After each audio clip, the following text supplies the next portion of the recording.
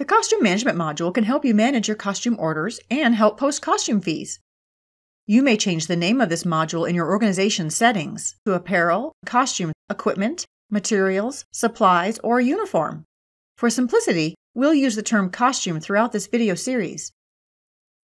The Costume Management module gives you the ability to assign costumes to classes and students, assign costume sizes to students, create costume purchase orders, and post costume fees in full or with a deposit.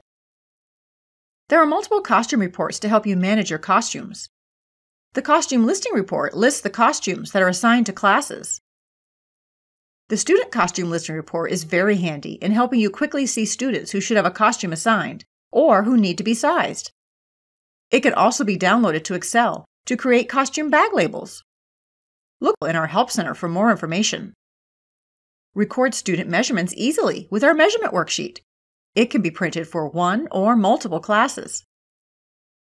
You can create purchase orders for vendors that can be printed or saved to your computer to attach to an email to the vendor.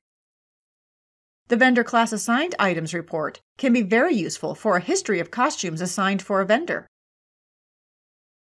To get started, you will need to add vendors and their size charts. Enter student measurements, add costumes to classes and students, and auto-size students based on the vendor size charts you've entered. Or refer to our Help Center for more information on how to get started using the Costume Management module.